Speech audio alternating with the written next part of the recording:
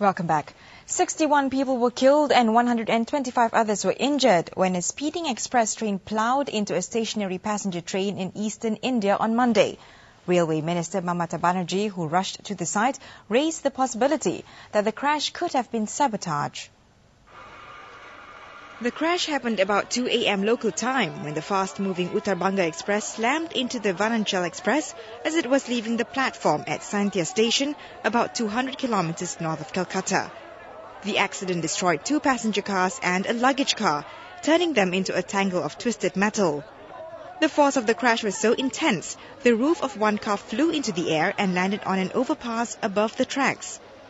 Residents tried desperately to free survivors before rescue workers arrived with heavy equipment to cut through the metal. The two drivers of the Uttar Banga Express were among the dead.